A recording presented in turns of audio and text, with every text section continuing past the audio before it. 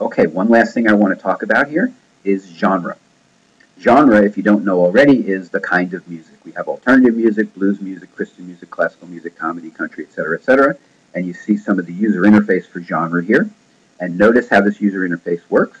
I have um, uh, a big list over here, a major list, alternative, blues, etc. When I click on um, alternative, I see subgenres. So inside alternative, indented under alternative, in an outline form, or what we'll come to see as a hierarchy form, we have today's alternative, 90s alternative, 80s alternative, etc., etc. So these are subcategories, these subgenres. And if I click on one of these, like today's alternative, I see that I get the page for the genre. This is a page that shows all the subgenres. This is a page that shows information about the genre. So this is the page that I'm going to look at when I when I actually model the genre. When I say, well, what do they keep about a genre? And I see from this page, and it's hopefully this is starting to get familiar to you, kind of what information Pandora uses. I'm again going to assume it's an ID.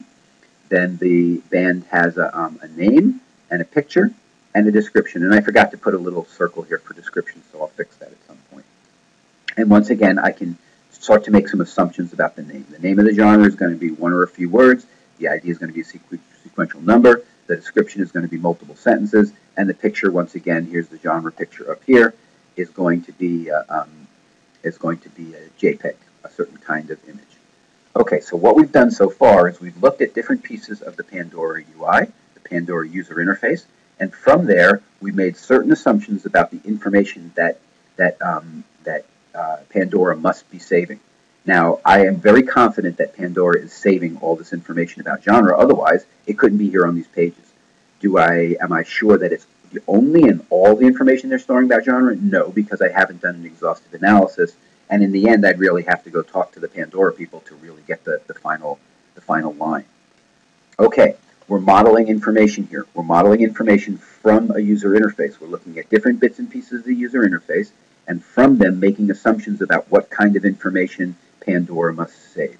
And so what I want to encourage you to do is begin looking at sites this way. Begin looking at sites and decomposing their user interface. Also begin looking at sites and decomposing their information model so that you have intelligent things to say about this site that other people don't even know, don't even notice, and you can start to make a lot of assumptions and a lot of um, analysis, a lot of sort of knowledge that you can generate inside yourself by knowing this information model.